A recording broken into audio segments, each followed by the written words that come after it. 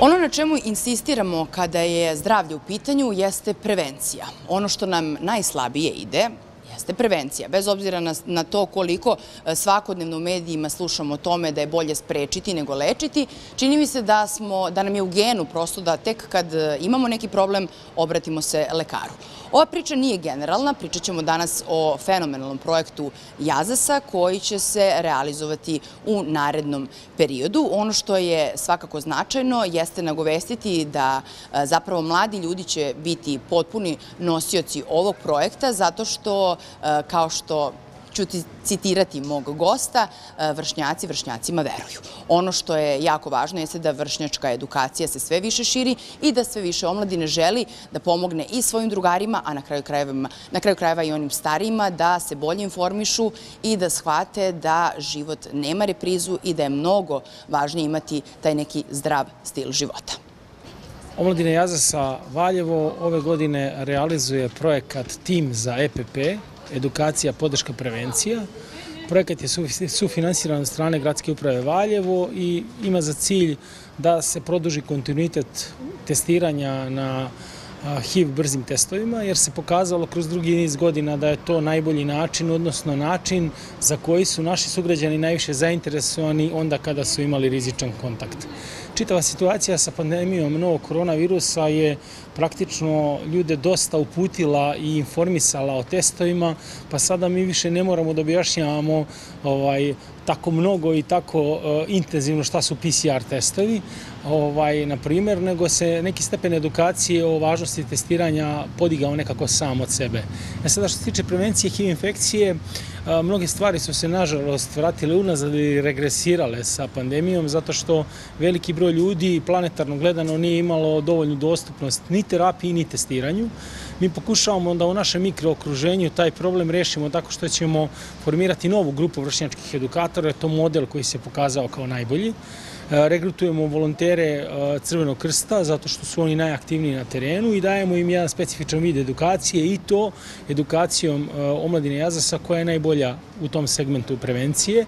Znači, to je jedan aspekt edukacija, drugi aspekt je organizovanje testiranje na gradskom trgu koje sprovodi asocijacija Duga i Šapca koja ima za to potrebno vozilo. To je jedno specializovano vozilo Ministarstva zdravlja Republike Srbije i promocija bezbednog ponašanja. Znači, i to što ja u ovom trenutku praktično na pragu avgusta nosim masku na polju pod visokoj temperaturi, treba samo da apostrofira ljudima, da vodimo i dalje računa i da pokušamo da sve ono što nam je bilo loše, ako ne možemo sprečimo, no makar odgodimo, da zagovaramo da je potrebno da se imunizujemo kako bi mogli da funkcionišemo makar nalik na neko vreme onome što je bilo, da bismo se kroz neko vreme apsolutno vratili u normalu.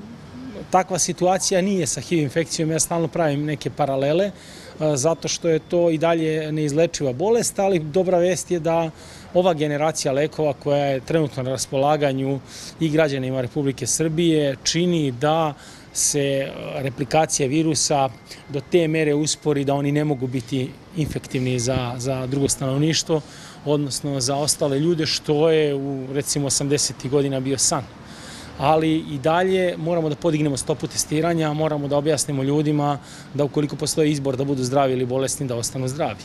Tako da ceo smisa ovog projekta je u stvari da insistiramo na onim politikama to, to su takozvane lokalne male politike, na onim politikama koje će doneti boljitak. Boljitak je testiranje, boljitak je edukacija.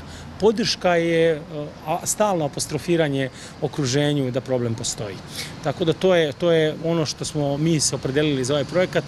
Sredstva su ograničena, tako da će projekat biti realizovan u onom obimu kojem, kojem je to moguće. Ono što bi ja kao starosedelac u, udruženjima građana, građanskom aktivizmu mogao da kažem je da zaista oni koji odlučuju, donose odluke, oni bi zaista trebali da razmotre opciju da da promene pristup, da odaberu nekoliko najboljih projekata, da ih finansiraju sa 80%, da onda traže učinkovitost koju onaj ko organizuje taj projekat negde garantovao da može da sprovede. To je dosta bolji pristup nego kada vi finansirate mnogo projekata sa malo para, zato što će vam se na mnogo konkursa pojaviti organizacije koje su recimo iz kulture, a bave se aerozagađenjem, to su neke stvari koje su nespojive. Meni neće pasti na pamet da ako se bavim zdravljem, sa omladinom ja da se pojavim na konkursu za kulturu, prosto, ali ne postoji ograničenje da se ja u tome pojavim, tako da mi treba da radimo uh, na fokusu, tako je jer e, formalno pravno mi to možemo, ali suštinski mora da, mu, da vodimo računa gde smo najstručniji da se time bavimo i da insistiramo na kvalitetu programa. Nemoguće je realizovati program kvalitetno ako se finansira 25% programa. Sada će neko pitati, pa dobro, zašto vi prihvatate uopšte da to radite? Zato što je testiranje neophodno. I zato što mi umesto da realizujemo četiri testiranja godišnje, radit ćemo jedno, bolje jedno nego ni jedno.